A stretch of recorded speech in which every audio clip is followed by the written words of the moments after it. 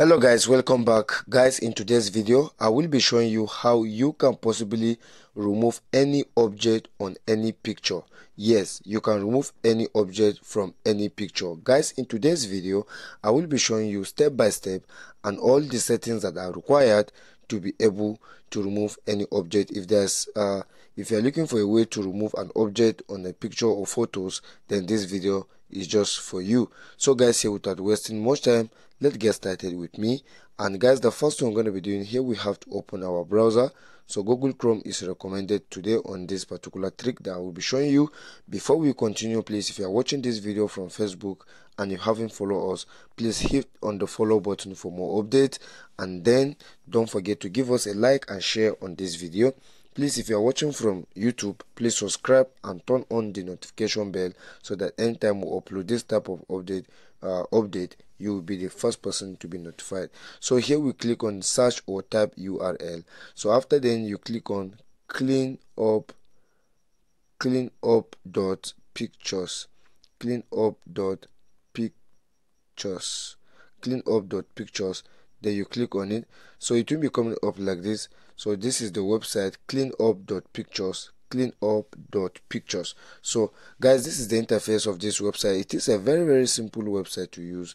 So you don't need any professional or you don't need any skills to apply on this uh, on uh, while doing this. So here we have tap here to load your picture.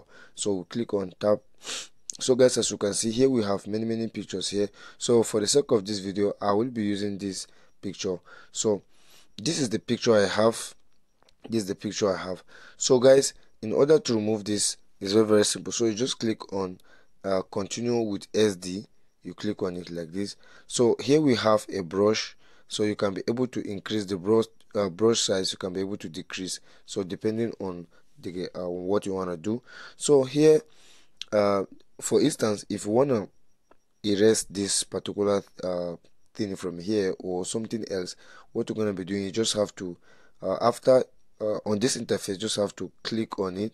You just draw it. So you see the brush has worked for us. This is the brush. So you can increase the size and then you can decrease it. So here I'll just clean on click on clean. I'll just click on clean. So you click on clean like this. So uh, this may take some seconds only. So guys as you can see it has been removed. Wow it has been removed. So guys we have already removed it and then you can download it directly to your gallery. So it's very very simple. Once you just click on download then that is all. So please if you found this video to be helpful once again please don't forget to follow us or subscribe to our youtube channel for more updates or follow us on facebook for more updates. Guys as you can see i have removed another one again and then you click on clean. It's very very simple to use. Guys as you can see everything is removed. So guys don't forget see you on my next update. Don't forget to share. Bye bye